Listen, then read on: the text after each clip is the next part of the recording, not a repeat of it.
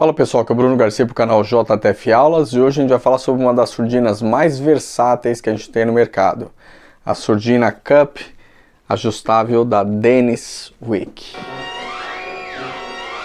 Lembrando que esse ano a gente tem Jazz Trumpet Festival presencial com Luiz Dodson, Jessica Pina, Greg Gisbert, Caleb Hudson e uma infinidade de brasileiros que estarão presentes no, no, no festival. Então se inscreve no festival, vai ser de, de 24 a 27 de outubro. Serão quatro dias de masterclass, workshops, apresentações, expositores. Você pode comprar bocal, instrumento, acessórios com desconto, concertos com todas essas estrelas.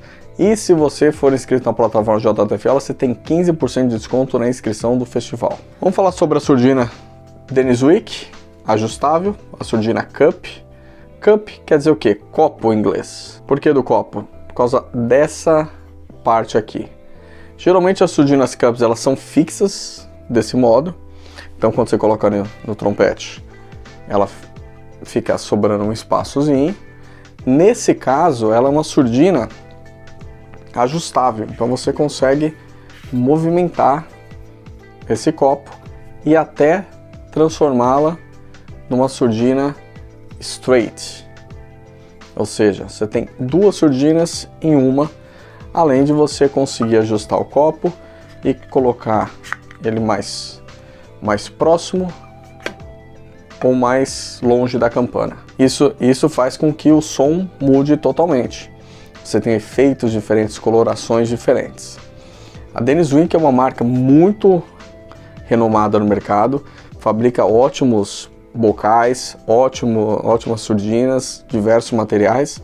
Então é um material assim que vale muito a pena ter, porque você consegue ter duas surdinas em uma só. Essa parte aqui é toda emborrachada, tem as cortiças e tal, ó. Bem resistente, leve, fácil de transportar. Então assim, antes da gente fazer uns fazer testes com ela para ver como ela soa com, no, no instrumento, se você tiver interesse eu tenho um Instagram chama Bruno Garcia Brass.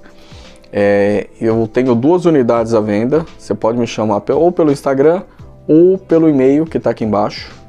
Então só me procurar pelo e-mail e eu tenho duas unidades dessa daqui à disposição.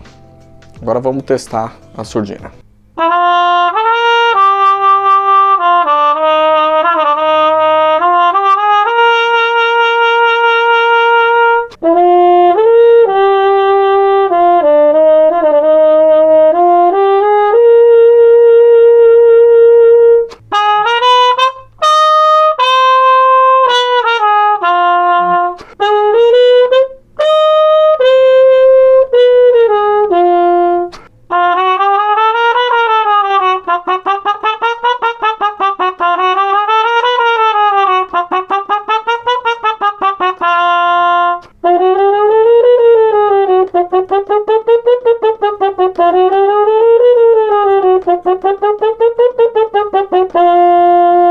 Ela pode ser uma boa opção como surdina de estudo, se você está no hotel, está num lugar que você não consegue praticar muito é, aberto, né? você não pode soprar, não pode fazer muito barulho.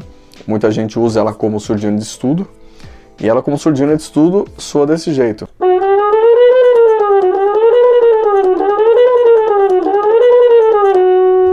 Uma outra opção é tirar o copo dela e transformá-la numa surdina straight, que ela tem um som um pouco mais agressivo, mais direto. É usado muito em orquestra sinfônica e tal. É uma surdina muito boa para usar em naipe, tanto de big band quanto de orquestra, é, quinteto de metais e tal.